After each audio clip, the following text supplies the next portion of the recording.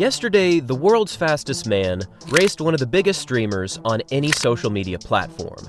And as many people did expect, the 2024 100 meter Olympic champion Noah Lyles did in fact manage to win this 50 meter dash, and he bagged a nice payday of $100,000 as well.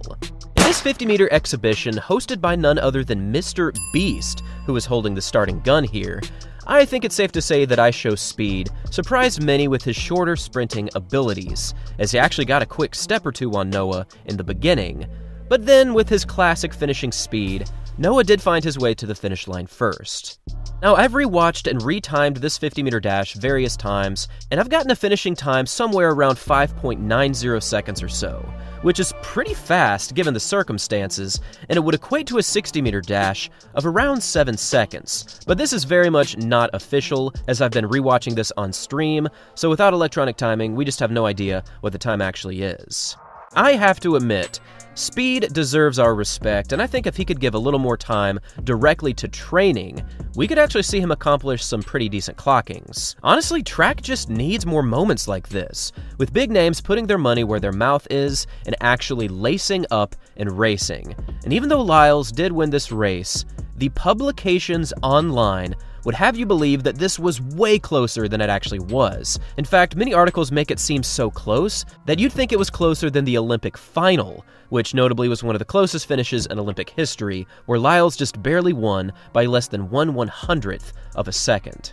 Littered across the internet right now are countless articles that make this race seem too close to call. There's Olympic medalist Noah Lyles nearly defeated by streamer IShowSpeed. Then there's Noah Lyles barely beats IShowSpeed in the 50 meter dash. But the one article that left my mind completely twisted out of confusion was this. Track and field community humiliated as Tyreek Hill forced Noah Lyles to face uncomfortable truth after IShowSpeed race. Holy cow. There is a lot to unpack here. Now, I don't know about any of you, but personally, I do not feel humiliated about this race at all. I mean, maybe I'm just speaking for myself, and you're free to leave your thoughts in the comment section down below. But I thought this race was pretty cool, and I do not understand any form of humiliation in the aftermath of this 50. Yes, I do think Noah could have gone a little faster, and it certainly would have been a good opportunity for the track world to really show their speed abilities to a wider audience. But when we take a closer look at what actually happened in this race, you'll get an idea of how fast track athletes really are and why this race panned out the way it did. So, the first thing I want you to notice is the start. Right from the gun, speed kind of gets a crazy good reaction. And if you know anything about the importance of a good start, this can actually make or break your race. Also, I thought it was important to note that there were no starting blocks here, which is something that I think could have given this race a little bit more legitimacy compared to what track athletes actually do. But regardless, after about 10 to 15 meters, we saw Noah do what he does best, and that's transition into some crazy top speed.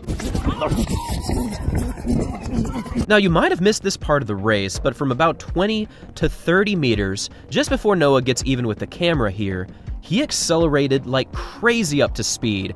And honestly, right here would have been the perfect opportunity to put forth a solid effort, continue accelerating, and absolutely drop speed. And I'm not saying that he needed to go 100% or anything, but a good effort here would have dropped him without question. But instead of doing this, he did some side work for the camera and proceeded to Euro step his way to the finish, which actually reminded me of the 2022 World Champs, where he did the same thing in the qualifiers. Again, this race was a pretty amazing example of how fast speed actually is. But come on, this was a no brainer. Noah really did win this race without much of an effort, and the more you go back and watch his opening acceleration, it becomes more and more clear that he won this race without digging at all. Now, in the wake of this race, outside of these articles, we did see Tyreek Hill poke his head into this conversation, and he retweeted this video more or less mocking the situation, claiming that Noah is not going to beat him if they do ever clash. And by the way, I am fully aware that Tyreek is completely trolling these situations for views. I've seen many people do it, and Tyreek does do it more than most. But the important thing to remember here is that Tyreek still has not laced up and raced. In fact, Tyreek didn't even race IShowSpeed, so that should really tell you where his psyche currently is. Now, there are still discussions going on about a potential 60 meter dash between Tyreek and Noah in 2025, and this would be highly entertaining as well, as it would bring even more viewership to the sport.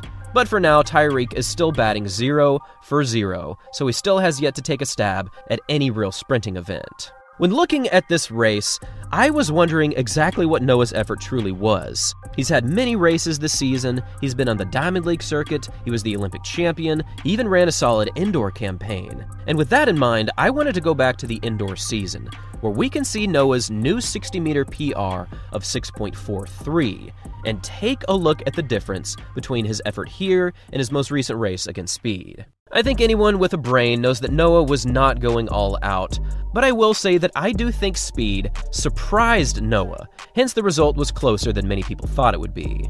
One video that I would highly recommend you check out is the breakdown of this event from Jumpman, a fellow YouTuber who covers all things track, and he's honestly massively underrated. So go subscribe to his page now. You will not regret it. But he made the keen observation that many people on social media really did think that Noah was set to lose here, which just showed me that people still do not understand track speed, even during an Olympic season. All in all, this really was a fun race to watch. I was just left disappointed at how many people were bashing Lyles and misinterpreting what this race actually was.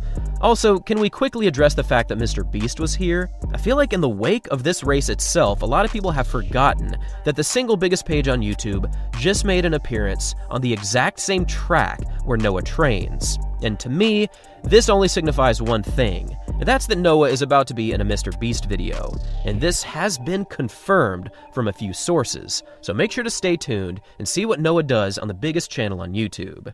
And now, I would love to hear all of your thoughts about this situation in the comments. What do you think about Noah's race against Speed? What effort do you think he was going at? What do you think about Tyreek Hill's retweet? What do you think about this entire situation? And where do you think we go from here? Do you think Noah needs to race more YouTubers? Do you think Tyreek needs to race Speed? What do you think needs to happen? And upon saying this, I honestly feel like Speed versus Tyreek would actually be a pretty fire race.